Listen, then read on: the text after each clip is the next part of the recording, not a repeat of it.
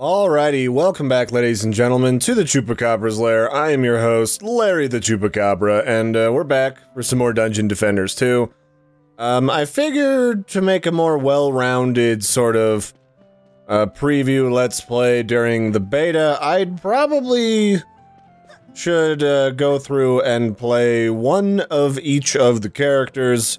So today we're going to start checking out the Huntress, which is the ranged class, and she specializes in shooting things in the face with a bow, shooting explosive arrows, um, phoenix arrows of all things, and uh, also traps that most of them don't necessarily do, um, or can take damage. They just kind of sit there and touch things' butts. But uh, they do quite a bit of like AoE damage, damage over time, poison damage. So, uh, you know, it's pretty cool, and I don't mind it so much. Although, to get started with, it can be just a tad uh, complicated to learn how to use, um, other things besides, like, walls. Because with, like, Mage and Warrior, which are classes that I'm the most familiar with, they've got, like, walls you can put up and tank stuff, so your strategies are just a little bit different. So, let's start with, uh... The Dragonfall Bazaar seems like a fine place to get started for our playthrough, so we can have a decent time of it, but not like immediately get uh, our butts touched by something new.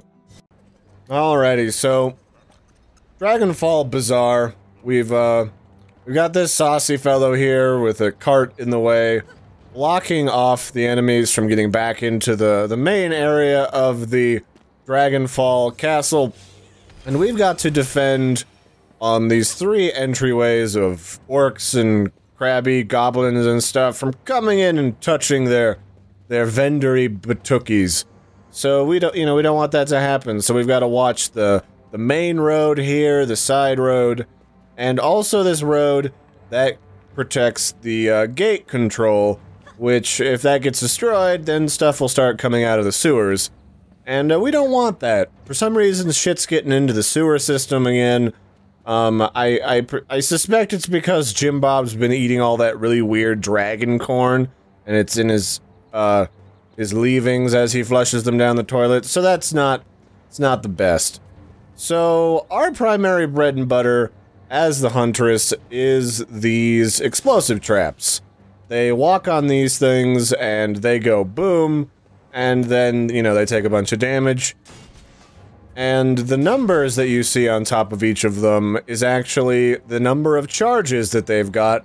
So with these traps, you don't really worry so much about, like, uh, their health going down, but you have to refill their charges by repairing them, or else they will expire and you'll be down um, a trap in the middle of a wave, which kind of screwed me over at the start of um, learning this character and this class.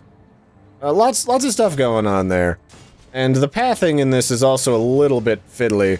So some of these traps might even not go off at all. Which could, which could potentially be super annoying. So, you know, you gotta be careful of all of that stuff. And then I'm gonna want to use uh, the last couple of things of gems that I've got, or mana, or magic, whatever you want to call the green resource, to slap down some of these big bad uh, Mamma Jamma cannons. And these are like arrow shooters. They fire a volley of deadly arrows right into your face hole, and then they poison people, which is super helpful because, um, you know, things that come out of here aren't nice. They're rude, more often than not, and we don't want them to touch our stuff. Not even kinda.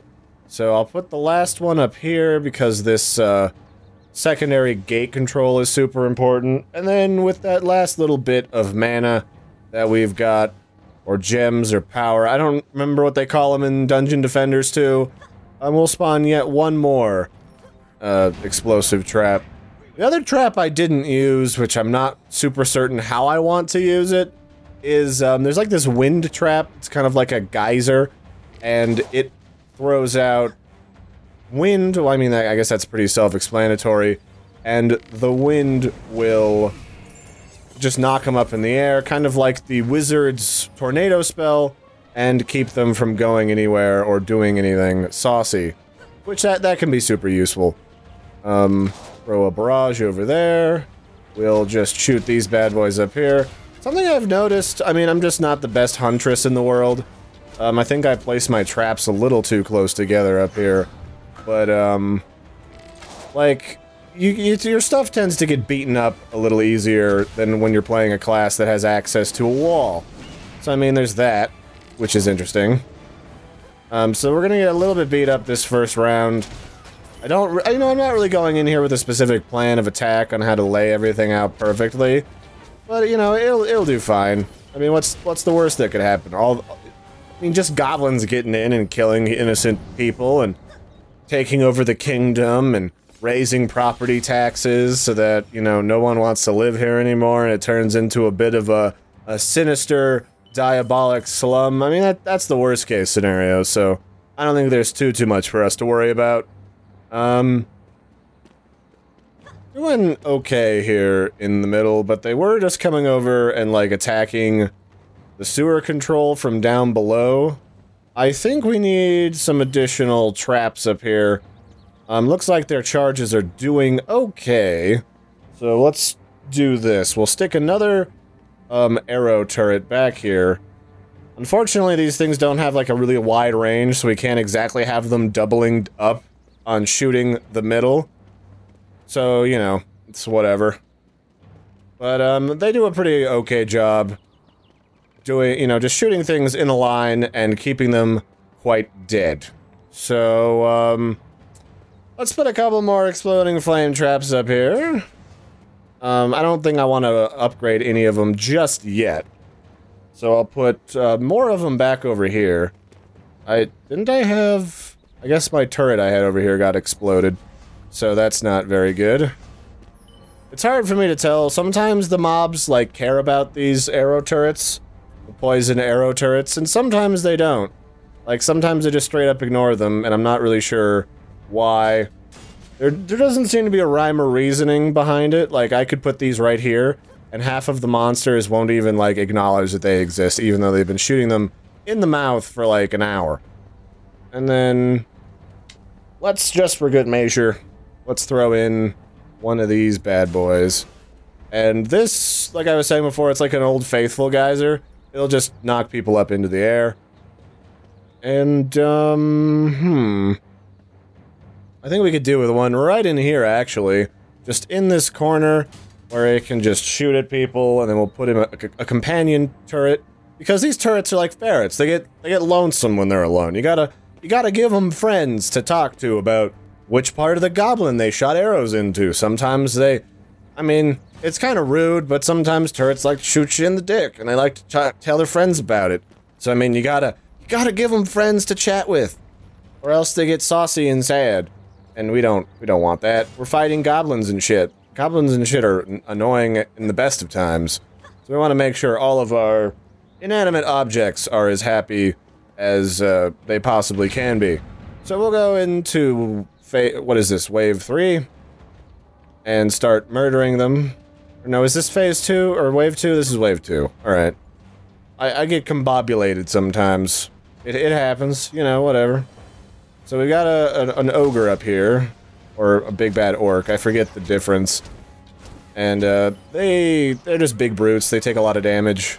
So we got to make sure that they get touched so that they don't, you know, blow our stuff up. Which is kind of rude, but hey, you know, I don't judge out loud. Because that's just asking for trouble, really. So the sewer control thing is under attack. Need to upgrade some of these uh, explosive traps up here. Is it look what it's looking like? They're just kind of ignoring these side turrets, whereas down here they're they're attacking the side turrets. So we'll just have to upgrade stuff and add a couple more explosive traps for the next wave. Uh, middle's not doing too great, but it'll be fine. We'll upgrade it now that we've kind of seen what monsters will do up there. Throw a phoenix up there to help them out a little bit so they don't explode. Um, the sewer controls can take a little bit of a beating before getting destroyed. That far side's doing okay. What's the sewer doing? Not bad, actually. Just one or two beaten on it. Just throw an explosive barrage and everyone's super cool and happy.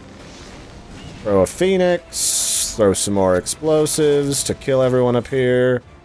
Yeah, we're doing alright. Not doing as well as I did before, which is weird, because this is basically the same setup I had when I first started leveling my Huntress on this level. But, you know, to each their own. Sometimes weird stuff happens. There's just no explaining it. Let's go grab ourselves some magical power. Uh, looks like my keyboard is lagging a little bit. That's annoying. It's the trouble with these, uh, Bluetooth keyboards. Sometimes they have an opinion.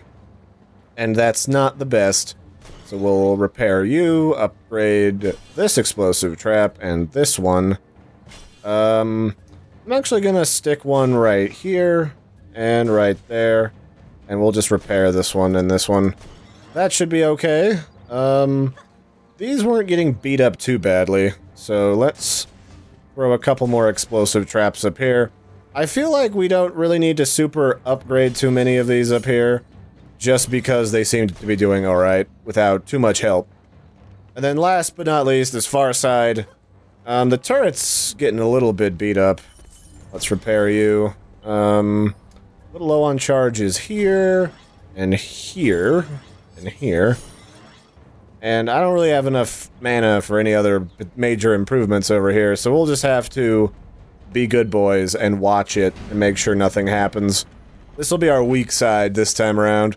That's really what these games are all about. It's kind of like an involved tower defense game where you have to shore up your defenses with your own weapons. So, you know, if stuff gets beat up, like, it's not great. You won't get a perfect score or a, a better reward. But, it, you know, it's better than nothing, really. So we'll throw the phoenix up here. Kill these gobbers before they can get any saucy ideas. Throw some explosives over there. Um, I've also got this slowing bomb, which is different. If I throw this, it has to charge up, but then it, it's like a poison that slows and does a little bit of extra damage over time. So if you don't really want to spend a lot of mana to re-upgrade stuff, then that's not a terrible way to go about doing it. My opinion of the Huntress so far, Huntress is pretty utilitarian as far as characters go inside Dungeon Defenders 2. So, you it's best used with like a character that has like a wall, like a warrior or a mage, something of that variety. Same thing with the monk. They can definitely hold their own, like, don't get me wrong, it's just like, for my purposes, I prefer those other two classes. They, these are just way too utilitarian. They don't seem to do enough direct damage, they don't have as much control without a wall. They're certainly not underpowered, but I just, it's not my playstyle. But we're checking them out anyway. Um, we'll have to repair that geyser soon. These goblins just will not behave. I'll have to put another tower pointed that direction to shore up our defense up here. Um, do do do repair, repair. Let me get some more of my delicious magic. Magic crystals make the world go round, kids. Don't forget that. We'll upgrade these first three explosives back here. And then, um, I'm gonna shore this side up by putting in a third poison tower. I think that'll keep that pretty well under control. I don't know what to do about this back corner here. Um, we kind of have some wasted stuff in the middle here. So it seems like I just need to put like an explosive trap right there where they're trying to sneak around and touch our stuff, which is kind of rude, but say la vie, there's nothing you can really do to stop it. Uh, I need to upgrade a couple of these, but I only have so much magic, so we'll just throw this little geyser up here, which should hopefully uh, keep anybody from getting too handsy with our towers or our gate lock control. Um, this thing has a lot of health, and it looks like it resets every time in normal difficulty mode, so nothing to really worry about there. In fact, that's a little too easy. I'd be fine if it kept getting whittled down, because these things don't exactly do a lot of damage, and we're not exactly hurting on the defense side. It's just kind of derpy. I'm not as practiced with the Huntress. With the Mage, you just kind of stick a tower somewhere, and they just maul the shit out of everybody that comes out of a doorway. So, you know, whatever. I'll just uh, throw a few phoenixes to help control the tide of derp coming out of that door. Uh, I should be utilizing my mini-map a little better, I'm thinking. But, eh, whatever. It's not quite as big a deal. Yeah, these guys are they have like one or two health left every time they reach the the gate control. So I'm thinking if I just put like a tower in the rear up here, I should be fine for crowd control. Definitely looks like I'm doing alright for crowd control on the far side there. But we have an explosive trap, I think, that needs a repair real fast. Um, this bad boy. Now, one of the things that I didn't realize before is you can repair stuff from, like, anywhere. I can start that repair, and I can run away and, and shoot other stuff. Which kind of seems overpowered, actually. I'm not sure if I like that or not, but it's about as as easy or cheesy as anything else in this game, so whatever. I mean, if you choose to use it that way, that's your choice. I just prefer that my turrets kind of do their thing while they're in combat, minus the walls, because walls, sometimes they get beaten up. There's, there's fancy, weird creatures in this game that, like the burrowers, I forget their names off the top of my head, that will just shred your defenses. Same with, uh, oh, that volley didn't go nearly far enough. Same with, uh, these big brute guys. They're kind of annoying. So do do do do do do do do do do do do. Right. Um, we can't really build anything more. We can build like one more explosive turret, and that's it. So we'll just focus on uh, repairing stuff. We'll upgrade you. You seem to get a lot of use. Uh, what about you? We'll repair you, repair you, and not you. Some of these bad boys over here probably are hurting. Yeah, this guy's hurting, this guy's hurting. Uh, let's upgrade you. Repair you. Repair the geyser. I don't really feel I need to upgrade the geysers at all. They're not a really mainstay damage dealers, but it's good to keep them up and with health and stuff so that they don't get whittled down to nothing.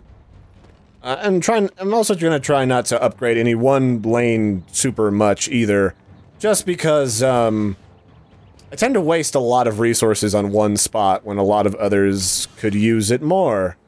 If that makes sense, I, I tend to to tunnel vision on one specific area of my map instead of keeping them all under control.